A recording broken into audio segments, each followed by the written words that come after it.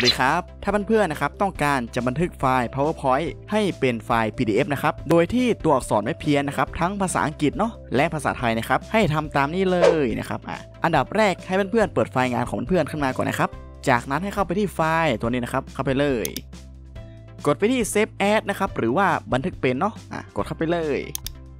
จากนั้นกดเบ้านะครับเพื่อเลือกหาโฟลเดอร์ปลายทางนะครับที่เราต้องการนำไฟล์ไปเซฟในโฟลเดอร์นั้นๆนะครับอะ สมมติว่าผมเซฟไปที่ดาวน์โหลดแล้วกันนะครับ ดาวน์โหลดตัวนี้เนาะโอเค จากนั้นให้ตั้งชื่อให้เรียบร้อยนะครับ ตั้งชื่อตรงนี้เลย การตลาดอะ PDF แล้วกันนะครับ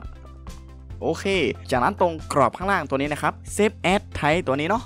ให้ปรับเป็น PDF นะครับอะกดเข้าไปเลย เมื่อตั้งชื่อและปรับเป็น PDF เสร็จเรียบร้อยนะครับ ให้กดเซฟได้เลยนะครับ โอเคครับ เพียงวิธีง่ายๆแค่นี้นะครับ ในการบันทึกสไลด์ PowerPoint ให้เป็น PDF นะครับ หน้าของเราที่ออกมาก็จะสวยงามตามนี้เลยนะครับ ไม่มีตัวหนังสือเพี้ยนนะครับ ตรงตามกับงานของเรา 100%เลยนะครับ เพื่อนๆนะครับก็อย่าลืมนำวิธีนี้ไปปรับใช้กันได้นะครับ ถ้าเพื่อนๆนะครับมีคำถามหรือว่าข้อสงสัยตรงไหนเนาะสามารถคอมเมนต์ใต้คลิปวิดีโอนี้เพื่อสอบถามกันเข้ามาได้นะครับ และคลิปนี้นะครับผมต้องขอตัวลาไปก่อนนะครับ ครับ สวัสดีครับ